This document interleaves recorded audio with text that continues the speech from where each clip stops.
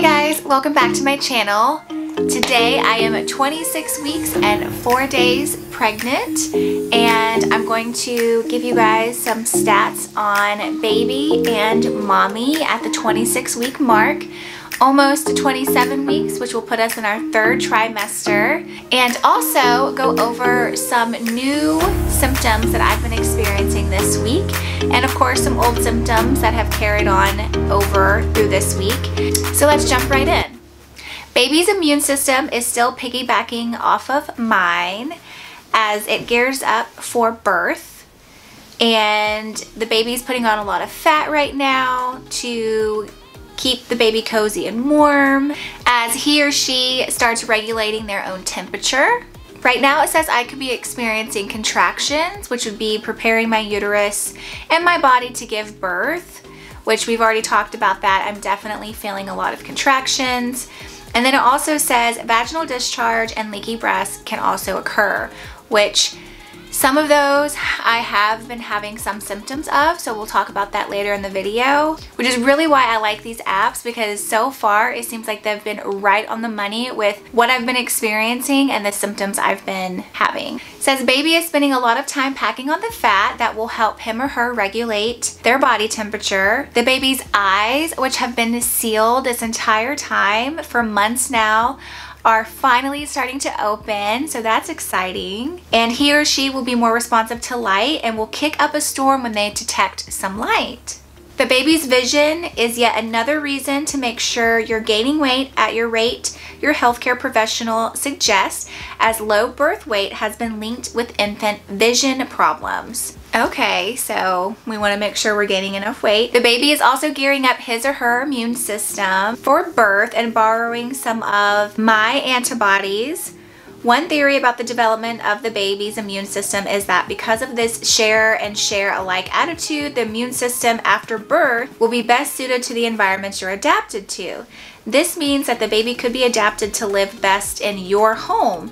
That's cool. Most of babies' bodily symptoms and functions are now intact and most of the rest of his or her development purely revolves around putting on weight and height.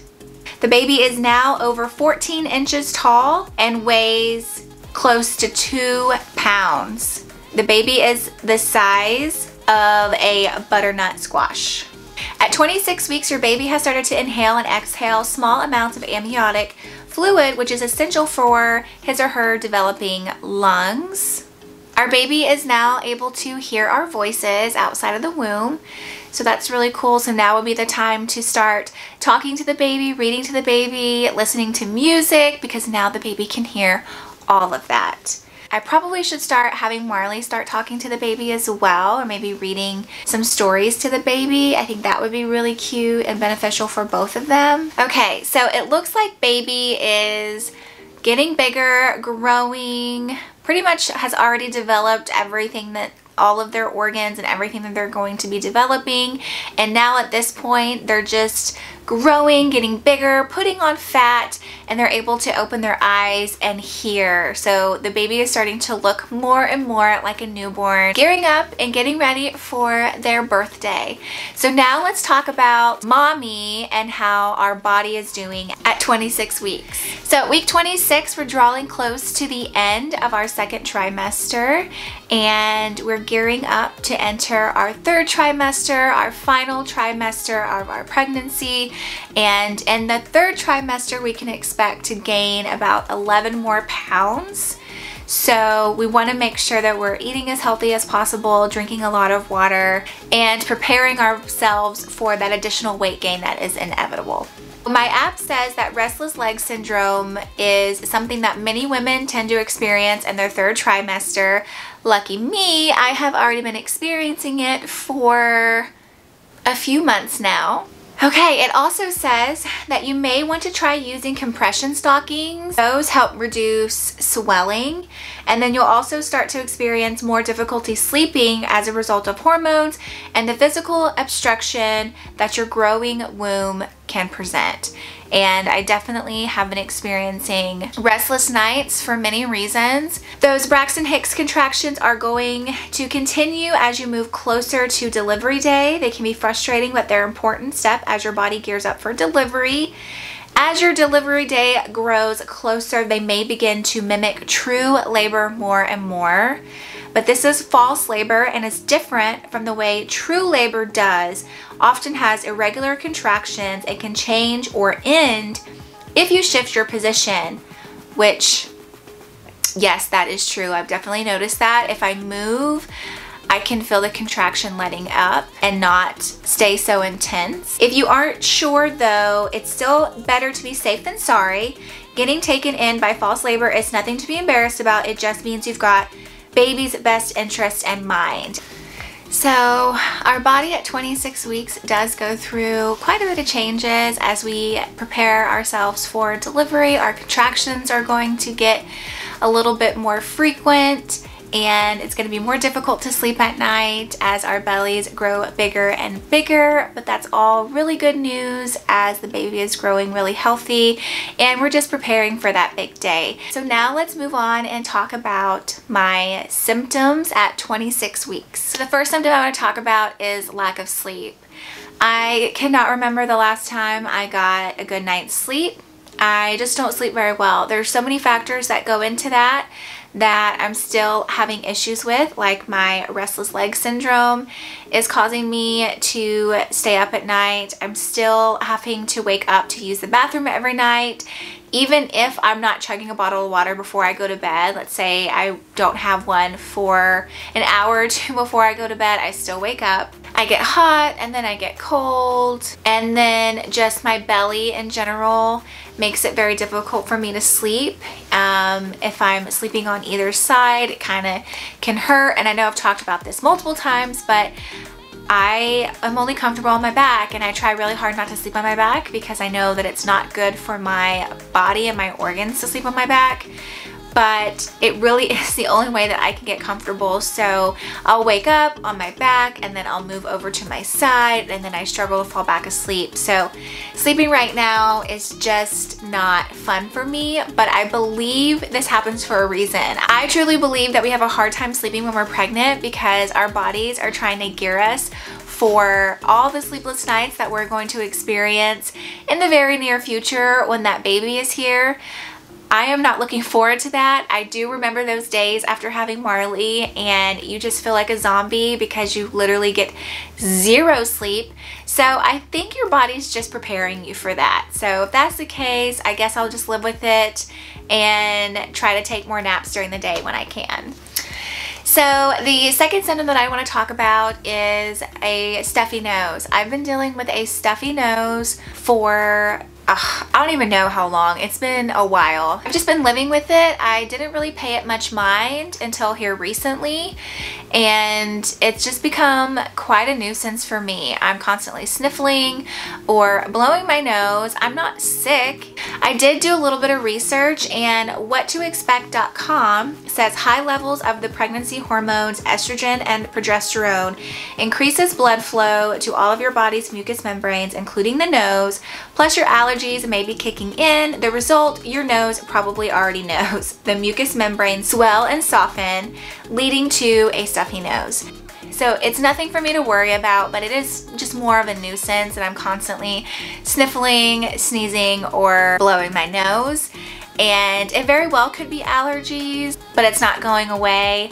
So maybe I will talk to my doctor about that. I do have a doctor's appointment next Monday and see if there's anything that I can take to get rid of it or if I should just deal with it until it just finally goes away. My Braxton Hicks are still happening every day pretty much a few times a day. They're still kind of more intense at night or I notice them more at night and Sometimes they can be really, really intense, sometimes not. Nothing too intense though to where I think I'm going into labor or anything, but it just, my belly gets really, really hard and constricted for just a few seconds and then it'll let loose. Um, so it's more of a nuisance than anything else, but I'm still dealing with them every single day. My appetite has definitely increased a little bit. I've noticed it over the last couple of weeks for sure. It may have something to do with the holidays. I don't know. Probably does. I think it'll go away soon once I venture into my third trimester and there's not going to be a lot of room for all of this extra food. So yeah, I've been a lot hungrier recently and grabbing for a lot of treats that I shouldn't be. So over the next couple of weeks, I'm gonna be trying to get back on track. We're done with the holidays, new year, and just continue to eat as healthy as I can. So another symptom is I'm still running out of breath. It's hard for me to breathe. I get out of breath really easily if I'm walking around or running around. I feel like I have to like take deep breaths sometimes. It's hard for me to bend over. I have to now take a seat to put on my shoes or my socks still. That's going to continue throughout the rest of my pregnancy, I'm sure. My gums have been bleeding quite a bit when I brush my teeth or I floss, which that pretty much has been going on my entire pregnancy. I do feel like it's gotten maybe a tad bit worse recently, but that's definitely been a symptom since I've been pregnant. So let's talk about the symptoms that nobody wants to talk about, the symptoms that makes us a little uncomfortable or a little embarrassed. So fair warning, TMI, if you get grossed out easily and don't want to listen to things that might make your stomach queasy, then go ahead and click out of this video right now. So every woman knows what vaginal discharge is. It's not anything new. It doesn't only happen when you're pregnant. It happens many times throughout your cycle. But we're all fully aware of it. Now when you become pregnant, you will have different vaginal discharge. You will have some starting as soon as you get pregnant and you will have it all the way through the end of your pregnancy. So discharge is completely normal and in fact it is, it is healthy to have during your pregnancy. Increased hormones and vaginal blood flow cause the discharge. It increases during pregnancy to prevent infections as your cervix and vaginal walls soften. So if you're experiencing vaginal discharge, it's nothing to worry about. It's your body's doing exactly what it's supposed to be doing. So during this pregnancy, I've also experienced some gas. Hasn't been a symptom of here recently. I did experience some gas during my first trimester, the most, I believe. I do feel like it was pretty frequent during the first several weeks. It has trickled down and kind of veered off and I'm not really experiencing that currently. It could come back. It really just kind of comes and goes. It's not super consistent for me at least, but it is a typical sign of pregnancy and is nothing to be concerned about. And all of this is caused by slower moving intestine muscles, which then in turn lead your digestion to slow down as well, causing bloating, burping, and gas. So again, nothing to be concerned about. It's completely normal. It happens to all of us and it's just, it comes with the territory. So the last TMI symptom that I want to talk to you guys about is bowel movements and constipation. So many, many women during their pregnancy experience constipation and it's the exact same reason why women experience bloating and gas. It's because your, your hormones and it slows down your digestion which causes you to be constipated. So that's one symptom that I actually have not experienced, at least not yet, but I believe it's because of the diet that I choose to eat and also the amount of water that I drink. I drink a ton of water um, and I do try to eat pretty healthy for the most part. So that really helps with your digestion. And I have noticed since eating healthier over the last several years it's helped with my digestion. Uh, prior to getting pregnant with Marley I had horrible constipation just normally not pregnant.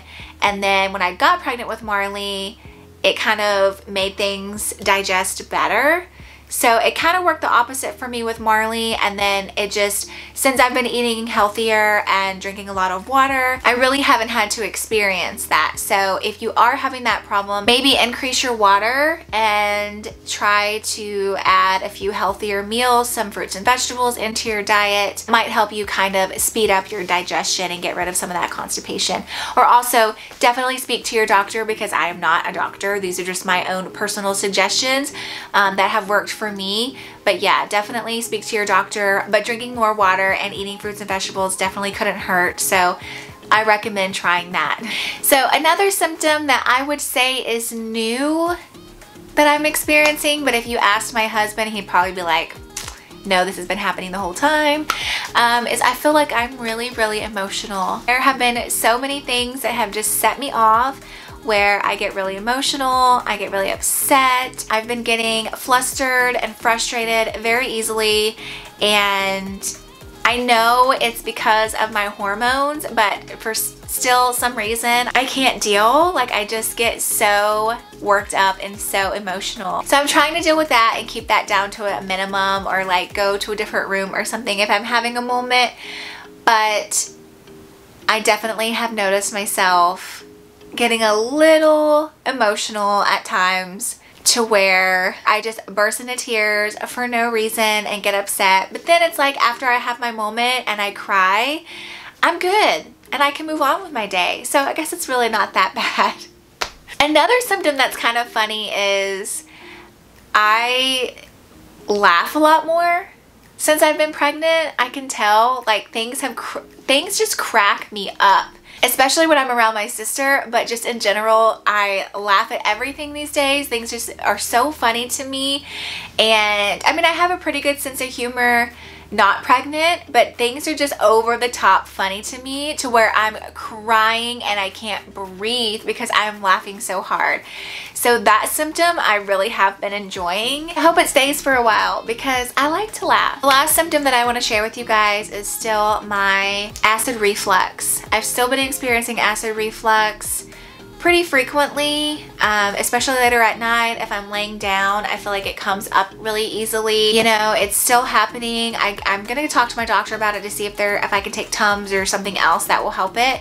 But I mean, it's not really that big of a deal. Again, it's just a nuisance, but it has been happening for the last several weeks and it is so bad and so frequent that I do throw up in my mouth from time to time.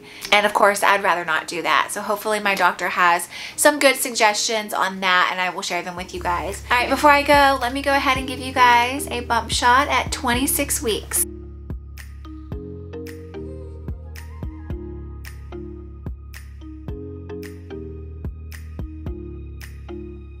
Alright guys, well that's it for me. That was my 26 week update. I hope you guys enjoyed this video. I know I enjoyed making it for you. Please give it a thumbs up if you enjoyed this video and if you are new here, go ahead and hit the subscribe button so you can see more videos like this. Let me know what embarrassing symptoms you're experiencing right now during your pregnancy or what videos you guys would like to see me do next. I love you guys. Thank you so much for watching and I will see you guys next time. Bye.